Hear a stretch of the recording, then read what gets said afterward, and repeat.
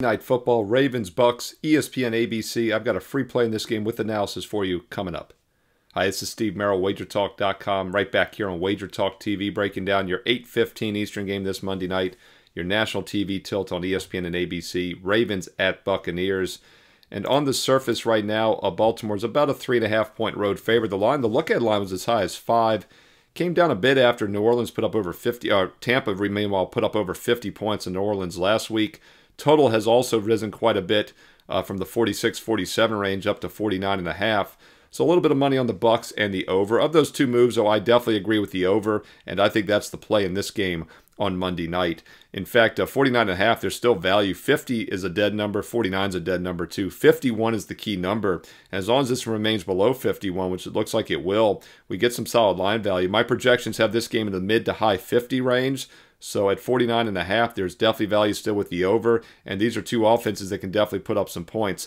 I mentioned the 51 points last week against New Orleans on the road. That's pretty impressive, but giving up 27 is not impressive. In fact, uh, Tampa's now given up 63 points the last two weeks against Atlanta and New Orleans on the road, and they're facing an even better Baltimore offense this Monday night. Baltimore's clicking on all cylinders offensively this season, averaging just under 30 points a game, over seven yards per play, nearly six yards per rush. They've been running the ball fantastic, and they should have plenty of success on the ground against a weak Tampa Bay run defense that's given up 4.7 yards per carry.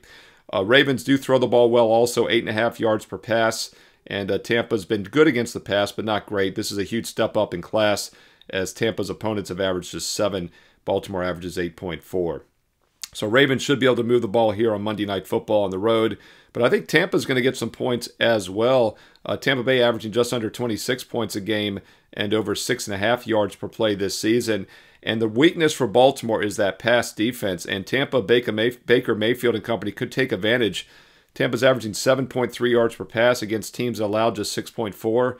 Baltimore's given up 7.5 yards per pass this season. Now, they did hold rookie Jayden Daniels in check a little bit last week, but still gave up 253 passing yards. So I look for both quarterbacks to have success through the air. I look for Baltimore to definitely have success on the ground as well. Don't overthink it, and the line is still cheap. Over 49.5. Ravens, Bucs, over the total. Monday Night Football, 8, 8.15 Eastern on ESPN and ABC.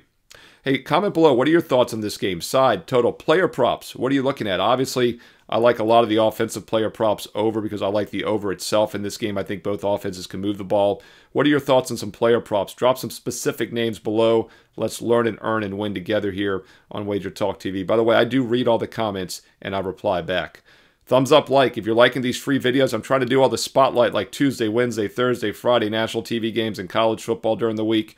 Also, your Sunday, Monday night NFL games here. If you're finding it useful, comment below because I read the comments, but also a thumbs up like is greatly appreciated, and I will keep these free play videos coming. Don't forget also to subscribe and click the bell for instant alerts so you know when they are posted each and every week. Now, these free plays are nice. A lot of times these TV games are just light lean. Sometimes they make my best bet card.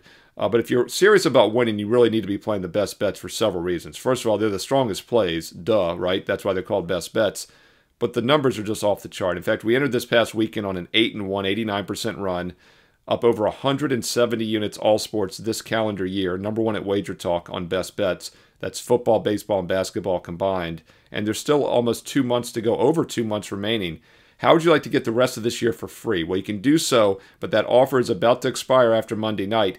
You buy 2025, the one year all access, I give you an instant $200 discount, and then as an added bonus, I'm giving you the rest of 2024, the next two months plus, for free. It's a fantastic value. It gets it down to about a dollar per play for every football, baseball, college, and pro best bet for the next 365 days and nights, plus the rest of this year for free. That's over 14 months.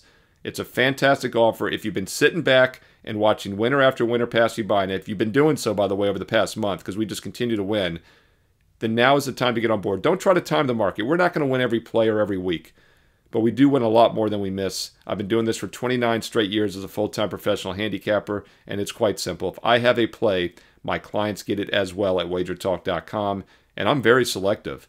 Average anywhere from one to three plays per day. You know, one to two during the weeknights, maybe three to four on Saturday and Sundays when it's a heavier card. The point is, though, I'm very selective, and the selectivity pays off. Proof is in the profits.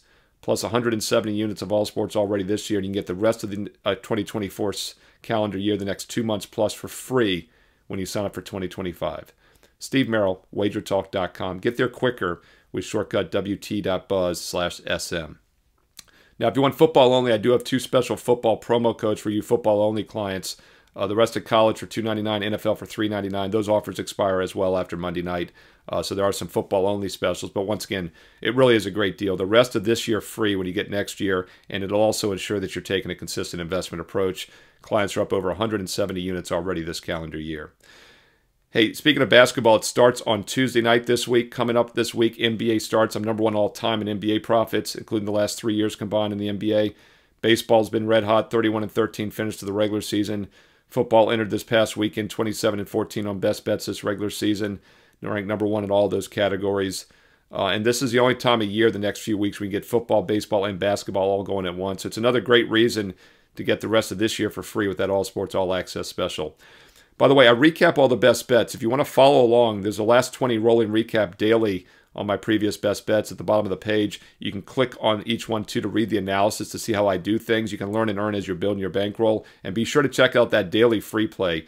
Being selective means my last cuts are pretty strong still, and I post those free plays throughout the week for you on my page along with those promo codes. So go check it out, Steve Merrill, wagertalk.com, and get there quicker with shortcut wt.buzz slash sm. Follow me on X and Instagram. Trying to get more active on Instagram on IG, so be sure you follow me. I'll keep doing videos there as well if you're finding them useful. Um, as always, at Steve Merrill, two R's, one L. At Steve Merrill on X and Instagram. And stay tuned here to Wager Talk TV for some more great free content coming up next.